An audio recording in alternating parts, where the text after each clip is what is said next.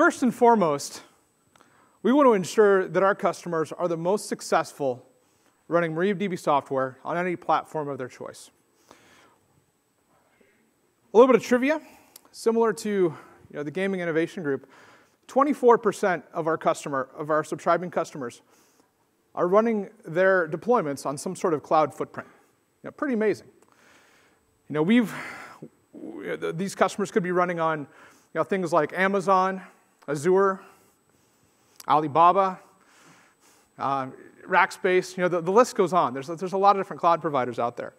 And MariaDB, we've been working with customers you know, for several, several years in a variety of different ways, both on-premise and in the cloud. And we've learned a lot. We've learned, learned a lot around performance characteristics, you know, runtimes, um, you know, things not to do, things to how to performance tune, uh, and it's been a great journey. And we're excited we're able to share that, uh, those learnings and those best practices through our managed service offering.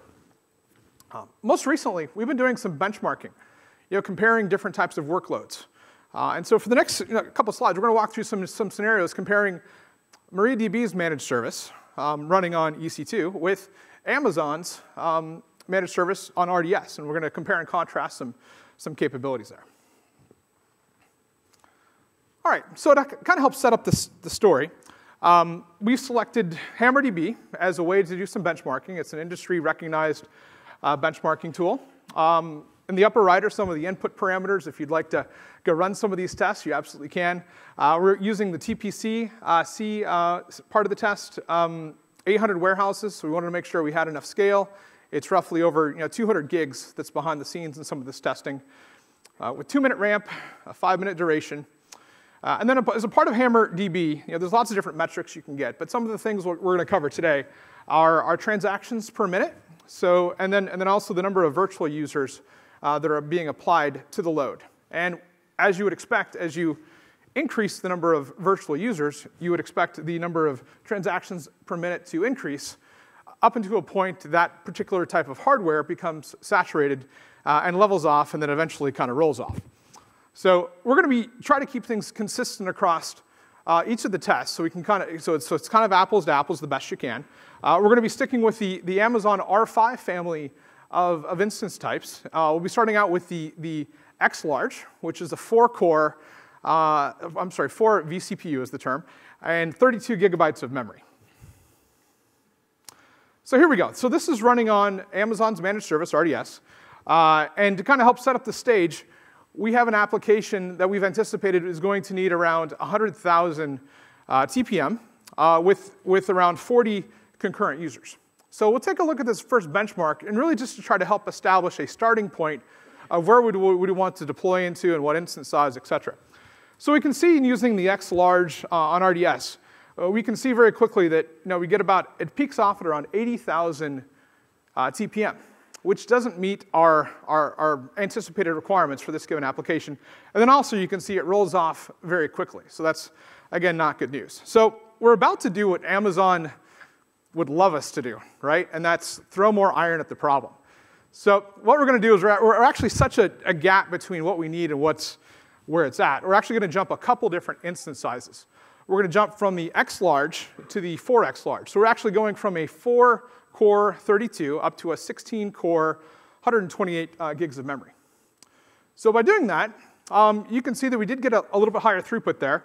Uh, it actually peaked out at around 115,000 TPMs but um, it quickly rolled off.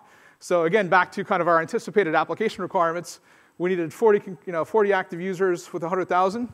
We're nowhere close. It's actually down there around 60,000 in this example. So we could continue to you know, add more iron to it. We could go to a 8x large, we could go to a 16x large, but every time we do that, uh, we're, we're increasing complexity and more importantly, we're increasing the cost dramatically. Um, so I think everyone who's used Amazon knows as you go up, the instance prices you know, go, go up um, commensurately with that. So rather than keep on throwing more iron at it, what we want to do is take a different approach. Let's take a look at MariaDB uh, running on MariaDB's um, managed service on EC2. So same instance sizes. We're actually going to start out with the, uh, the, R, the, the R5X large, so the smaller instance type. And let's take a look. So we have the purple line here. Uh, the purple line, a couple things you, you, can notice out of this. Right, right out of the gate, you notice that it's actually ramping up faster. So we're getting a faster ramp up time with MariaDB on EC2. And we're, we're, getting a higher peak rate, and then we're holding on to the concurrency uh, as it progresses. So substantially you know, better performance at, at, the, at the lower cost of the, the instance sizes. And we're also running on, on EC2, which is going to be a lower cost with, with the MariaDB managed service. So the next thing that comes to mind typically is, well, it's using the, they're both using the, you know, the, R, the, the, the X large R5 instances. Why could there be such different performance? And there's a few reasons for that. You know, one of them is, you know, we're using the latest and greatest MariaDB software. So it's, we have the latest performance fixes, bug fixes, et cetera. So that's, that could be one of the reasons. Um, you know, we, we have the ability to tune both the infrastructure, the operating system, uh, and the Maria, MariaDB software. So we, we apply all of our best practices uh, to, to implement inside of there. And then um, another one is, you know, Maria, we found that, that, that um, Amazon's managed service was not highly tuned for, for MariaDB. You know, we were able to do some testing and get some slight improvements as a part of what, um, what RDS could offer, but nowhere close to what MariaDB on MariaDB's managed service offering can provide. Cool. So next thing I want to talk about is, you know, there's been a lot of um, discussion from the Amazon side around Aurora. So it's kind of funny if you've ever tried to provision a database on on RDS, you know, the first question that pops up there, which database do you want to use? And the first one is Aurora. You know, then you've got, you know, MySQL and you have, you know, MariaDB. And so you pick MariaDB, right? Click next. And then the next question is, is what, you know, what, what type of workload do you want? And the first option is production. And then it does dash Aurora. it's like, well, I just selected MariaDB. So the next option underneath there is, is MariaDB, so you, so you can select that. Um, but, but needless to say, Aurora's been getting a lot of attention from, from, from Amazon.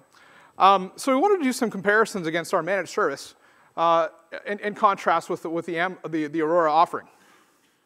So if you add in here in, the, in, this given chart, we can see here that, that Aurora is in the red, and we still have in the faint, uh, the faded out uh, um, um, RDS uh, instances. You can see that the, the actual throughput uh, continued to, to improve. So it got better with Aurora, uh, but the actual performance versus MariaDB on EC2 is still nowhere close. So very excited to say we, we ramp faster still, and we're able to hold a longer, you know, a higher, a higher TPM across this.